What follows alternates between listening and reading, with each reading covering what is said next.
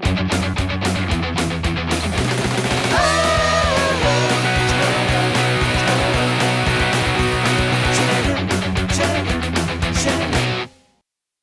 สดีครับผมเจมส์สุภวิทย์ครับ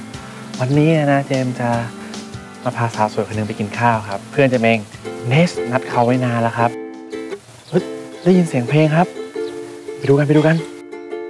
ตามมาตามมาตามมา นี่เลยนี่เลยครับทำอะไรอยู่ครับสาวสวยแหมคนสวยอะไรคนสวยอะไร มานั่งเลย โอ้ยไปไหนมาไปไหนมา เอางี้ละกันเนี่ยเราสั่งอาหารไว้ทางนู้นอะเต็มโต๊ะเลยหืมเดี๋ยวเราจะเลี้ยงเนสเป็นการขอโทษที่เราทำผิดต่อเนสที่เรามาสายอุ้ยเออเราจะได้กินของฟรีวันนี้เหรอ แน่นอนครับเนสโอเคเก็บของเลยดีกว่า นี่เราเตรียมกับข้าวไว้เรียบร้อย รับรองอร่อยทุกจาน แน่ เป็นไงล่ะอุ้ยอร่อย กินเลยกินเลยเต็มเท่ไม่รู้เหรอเขาแพ้อาหารทะเลอะดูดิฮะกุ้งปลาหมึกปลาอะไรเนี่ยไม่แพ้อาหารทะเล เอางี้ดีกว่าเรามีไข่พะโล้ให้เนสโลซ่าพร้อมพะโล้ไก่ไข่นกกระทาซองนี้เนี่ยเขามีเคล็ดลับอยู่ยังไงอะแล้วเป็นเคล็ดลับที่ลับมากๆด้วยแต่อยากรู้ป่ะอยากรู้ดิโอเคงั้นเดี๋ยวจะพาไปดูนะ พี่บีจากครัวโลซ่าเขาจะทำให้ดูว่าเค ล็ดลับการทำพะโล้ไก่ไข่นกกระทาให้อร่อยเนี่ยทำยังไง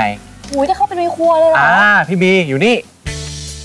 สวัสดีค่ะ วันนี้จะมาสาธิตวิธีการทำพะโล้ไก่ไข่นกกระทา ตั้งกระทะ เปิดไฟอ่อนๆ ใส่น้ำมันลงไป แล้วก็นำรากผักชี กระเทียมพริกไทยที่เราโขลกเอาไว้ไปผัดกับผงพะโล้ให้มีกลิ่นหอมค่ะ แล้วก็ใส่น้ำตาลมะพร้าวลงไปผัด จากนั้นก็ใส่เนื้อไก่ลงไป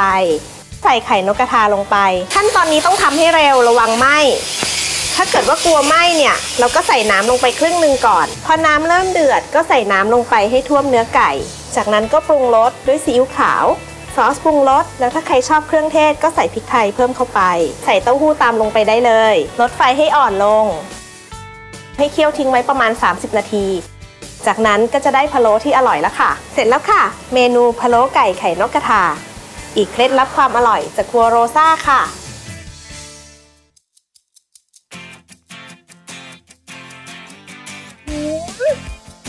ไข่เนื้อไก่มันกลมกล่อมเลยอันนี้เจมบอกแล้วว่าอร่อยแน่นอน ไม่ได้แล้วอร่อยนี้ต้องแพงนิดหน่อยสวยจ้าถ้ามันอร่อยขนาดนั้นแล้วก็จะช้าๆทำไม